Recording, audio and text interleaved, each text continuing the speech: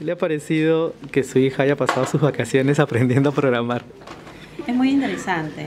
Ya a cierta edad, de los 15 para arriba, los jóvenes tienen que aprender ¿no? a conocer que el mundo no solamente es el colegio. ¿no? Estos conocimientos son muy importantes para su, para su vida futura.